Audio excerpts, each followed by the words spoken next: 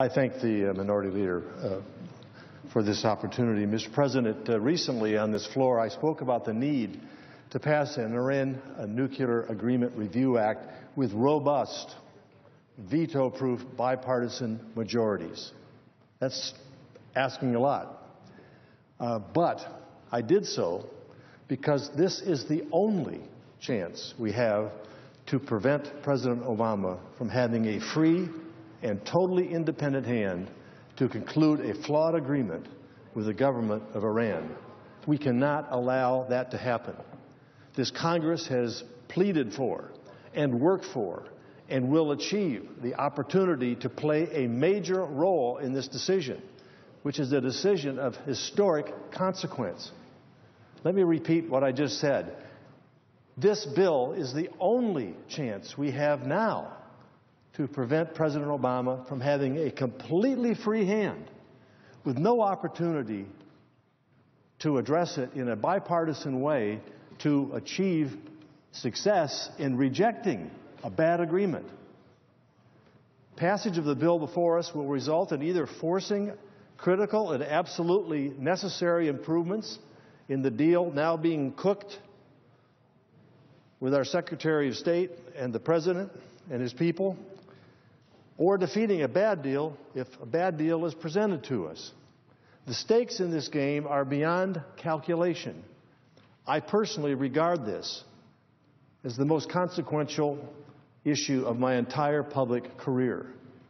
Our failure to have an opportunity to have this Congress, representatives of the American people, bring before the American people what is in this deal and the consequences if this deal is not a good deal that will prevent Iran from having nuclear weapon capability is absolutely essential.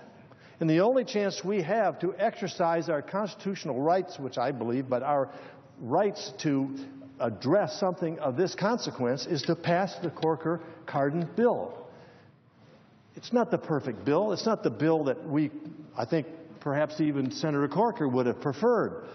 But it's the, where we are, and it's how the only way we could get here and get a bipartisan support for this is to do this. But this gives us the opportunity to do the following.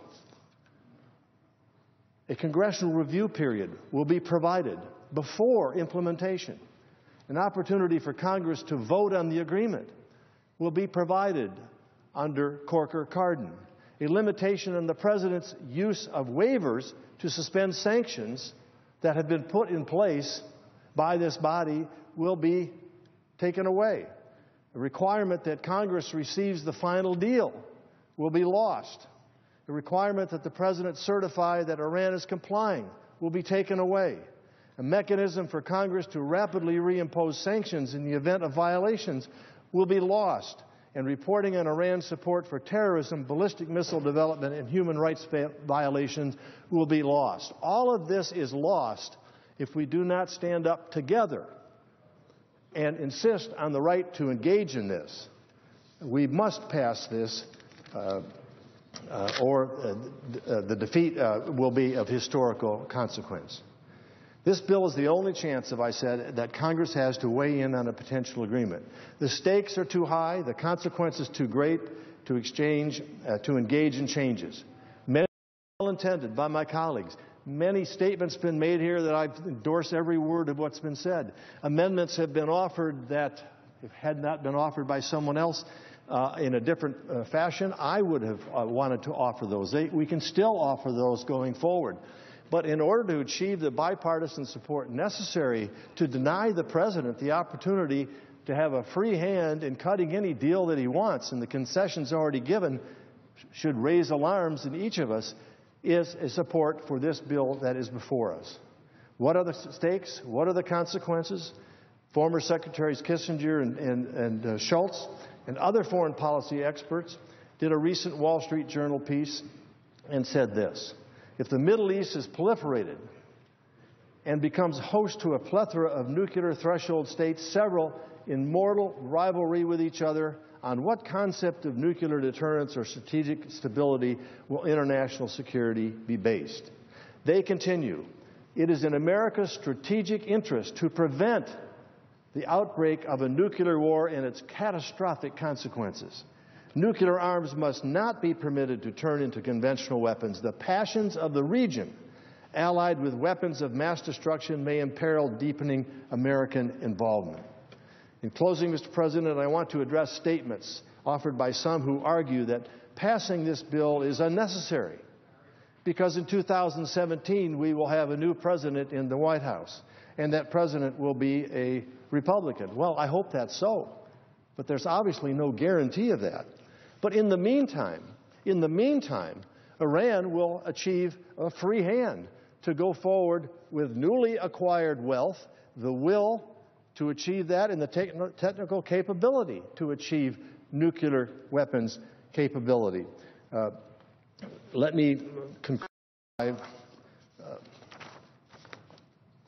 supporting a statement that was made by Max Boot, a respected foreign policy analyst. Skeptics about the looming nuclear accord with Iran may be taking comfort from the promises of Republican presidential candidates to tear up the treaty as soon as they reach the Oval Office.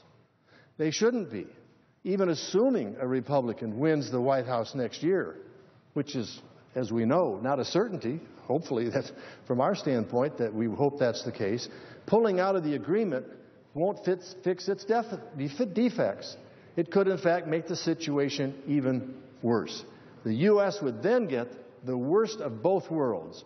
Iran already would have been enriched by hundreds of billions of dollars of sanctions relief, and it would be well on its way to fielding nuclear weapons with de facto permission from the international community. To avoid this nightmare scenario, the best play from America's standpoint could well be to keep the accord in place or at least delay Iran's decisions to weaponize. In short, don't expect salvation in 2017. If the accord is signed, its consequences will be irrevocable. Whatever a future president does or does not do, Iran's hardline regime will be immeasurably strengthened by the agreement. That makes it all the more imperative to address the bad agreement now, not two years from now. I urge my colleagues, Democrats and Republicans, to vote to give Congress, this Congress, the right and the opportunity to scrutinize every single word of what is being negotiated uh, with the Iranians, uh, to inform the American people, and then achieve what I would hope to be an overwhelming rejection of the agreement if it does not achieve the goal of denying Iran its nuclear weapons capability. This is a vote before us. I think we need to look at what the end goal is and how we can best get there under the circumstances which we now are in.